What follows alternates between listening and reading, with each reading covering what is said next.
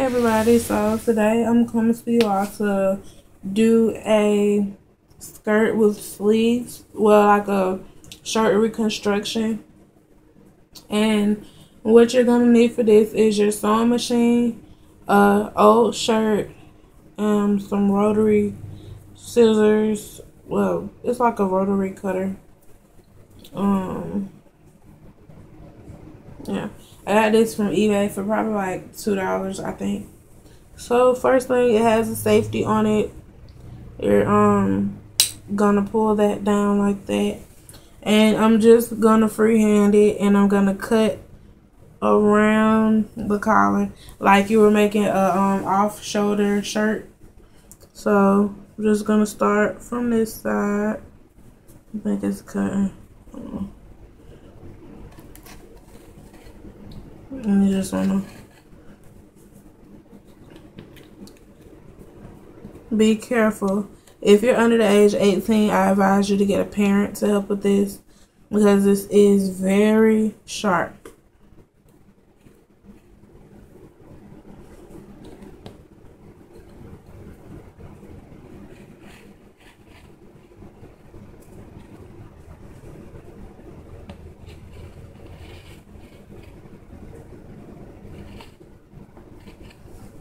I hope I can see that. I'm sorry.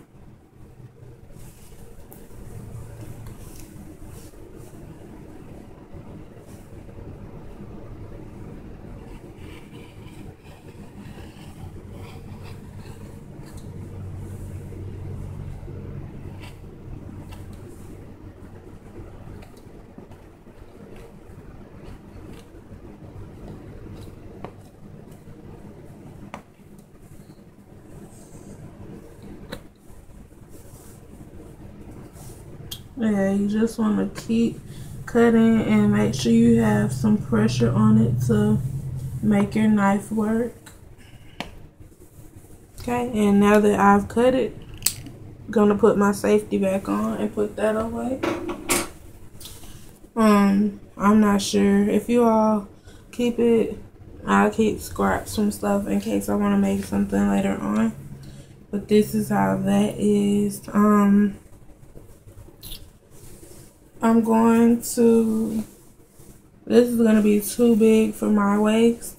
So what you want to do is flip it inside. If you have pins, you just flip it down like that. Flip it down and sew. If you don't have pins, then you're going to freehand it.